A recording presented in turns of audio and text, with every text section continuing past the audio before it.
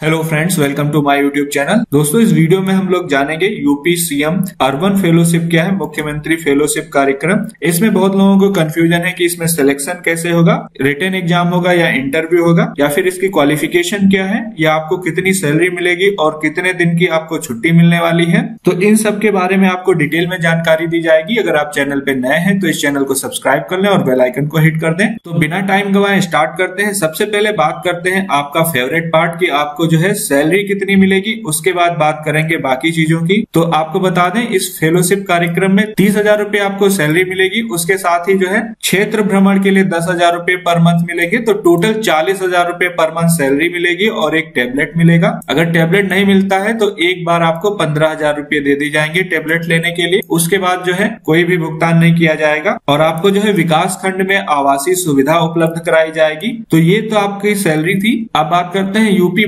मुख्यमंत्री fellowship programme है क्या? तो ये जो है, प्रदेश के युवाओं को सरकार के साथ नीति प्रबंधन या फिर क्रियान्वयन कार्यों में जो है सहभागिता के लिए वैकेंसी निकाली गई है। इसमें जो है, इस फ़ील्ड के कैंडिडेट अप्लाई कर सकते हैं जिन्होंने जो है कृषि, ग्रामीण विकास या पंचायती राज या उससे संबंधित क्षेत्र में जो है पढ़ाई की है। वन, पर्यावरण या फिर जलवायु या फिर शिक्षा, स्वास्थ्य, स्वच्छता, पोषण एवं कौशल विकास, ऊर्जा एवं नवीकरणीय ऊर्जा, पर्यटन तथा संस्कृति, data science, artificial intelligence IT या फिर आईटीएस जैव प्रौद्योगिकी, मशीन लर्निंग, डेटा गवर्नेंस, इन सब में अगर आपने पढ़ाई की तो अप्लाई कर सकते हैं। बैंकिंग या फिर वित्त या फिर कर राजस्व मतलब अगर आप बीकॉम आपने किया है तो अप्लाई कर सकते हैं। लोक नीति और गवर्नेंस, इन फ़ील्ड के कैंडिडेट का चयन किया जाएगा। इसके लिए आपको जो है ग्रेजुएट पास होना चाहिए। कम से कम साठ परसेंट नंबर होने चाहिए ग्रेजुएशन में। हिंदी भाषा आपको बोलनी आनी चाहिए, लिखनी आनी चाहिए। इसके अलावा आपके पास कंप्यूटर नॉलेज होनी चाहिए। अगर आपके पास कंप्यूटर नॉलेज नहीं है तो आप ज़रूर सीख लें, क्योंकि इसमें जो है डेटा एनालिसिस में जिनका एक्सपीरियंस होगा, उनको जो है प्रेफरेंस दिया जाएगा।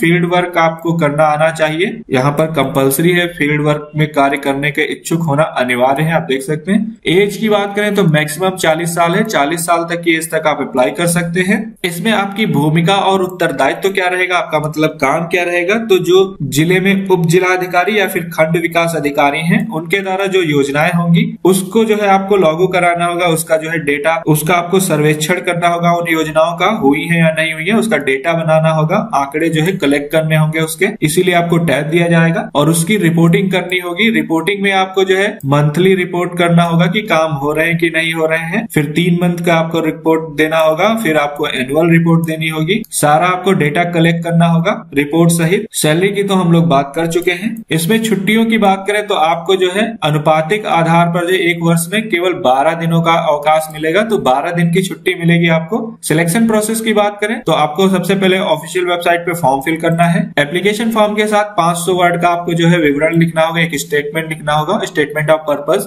जिसको आप अपलोड करेंगे। फिर आपके एप्लीकेशन फॉर्म की स्क्रीनिंग होगी मतलब चेक किया जाएगा कि सारी एलिजिबिलिटी आप जो है क्वालिफाई कर रहे हैं। उसके बाद आपको इंटरव्यू के लिए बुलाया जाएगा। इसमें जो है आप एक ईमेल आईडी या और फ़ोन नंबर से एक नाम से केवल आवेदन कर सकते हैं। आप कई बार आवेदन ना करें मतलब एप्लीकेशन फॉर्म फिल ना करें, नहीं तो रिजेक्ट हो जाएगा। तो इस बात का ध्यान रखें। स्कोरिंग की बात करें, कितने नंबर मिलेंगे? तो ऑब्जेक्टिव स्कोरिंग 50 नंबर का है। 50 नंबर में जो है हायर क्वालिफिकेशन के 25 नंबर है। अगर आप ग्रेजुएट है तो 15 नंबर मिल जाएँगे। पोस्ट ग्रेजुएट है तो 20 नंबर पीएचडी है, जिसमें आपकी पीएचडी पूर्ण हो गई या फिर थीसिस आपने जमा कर दी तो आपको 25 में 25 नंबर मिलेंगे। इसके अलावा अगर किसी प्रतिष्ठित संस्थान से डिग्री है तो आपको तीन नंबर एक्स्ट्रा मिलेंगे। ये पंद्रह नंबर आपके बाकी टोटल तो इसमें तीन नंबर जो है अच्छे कॉलेज की डिग्री से है। और प्रतिष्ठित राष्ट्रीय, अंतर्राष्ट्रीय प्रकाशनों में कोई आपका जो है शोध या फिर रिसर्च या फिर कोई काम जो है प्रकाशित हुआ है तो तीन नंबर आपको एक्स्ट्रा मिलेंगे। इसके अलावा नेशनल इंटरनेशनल मंच पे जो है अगर आपको कोई पुरस्कार मिला है तो तीन नंबर उसके। और संगठनों के साथ स्वयं सेवा की आपने तो तीन नंबर उसके मिलेंगे। और कोई एक्स्ट्रा आपके पास जो है अचीवमेंट है तो उसका तीन नंबर रखा गया है। तो पच्चीस और पंद्रह आपके जो है चालीस नंबर हो गए दस नंबर आपके जो है वर्क एक्सपीरियंस से होंगे। अगर आपके पास छह से दो साल का वर्क एक्सपीरियंस है तो पाँच नंबर दिए जाएँगे। और दो साल से अधिक का एक्सपीरियंस है तो दस नंबर मिलेंगे। इसमें जो है पीएचडी की डिग्री को जो है एक्सपीरियंस नहीं माना जाएगा तो टोटल पचास नंबर आपके ये हो जाएँगे और पच्चीस नंबर का आपका जो है पर्सनल इंटरव्यू होगा। फिर टोटल जो नंबर मिलेंगे, उनको जो है, उनके आधार पर जो है, आपका सिलेक्शन किया जाएगा। इसमें आपको जो है, दो सप्ताह की ट्रेनिंग कराई जाएगी। पहले सप्ताह में आपका जो है जनरल ओरिएंटेशन होगा और सेकेंड सप्ताह में जो आपका जो है सब्जेक्ट से रिलेटेड नॉलेज दी जाएगी ट्रेनिंग दी जाएगी। और इसका प्रशिक्षण जो है, प्रशासनिक एवं प्रबंधन अकेडमी एकेडमी लखनऊ द्वारा किया जाएगा और इसके जो ट्रेनिंग है, इसमें आईआईटी और आईएम लोगों द्वारा व्याख्यान कराया जाएगा मतलब उनसे जो है इंटरेक्ट कराया जाएगा। और भी कई महत्वपूर्ण चीज़ें हैं, आप इसको पढ़ लें और किस डिस्ट्रिक्ट में कौन कौन से विकास खंड है, इन सब के बारे में दिया गया है। तो आप पीडीएफ डाउनलोड कर लें लिंक वीडियो के डिस्क्रिप्शन में दिया गया है और कमेंट में पिन है। और इससे रिलेटेड कोई भी इन्फॉर्मेशन चाहते हैं तो आप मुझसे कमेंट सेक्शन में पूछ सकते हैं। ये वीडियो देखने के लिए और मेरे साथ बने रहने के लिए आपका बहुत बहुत धन्यवाद।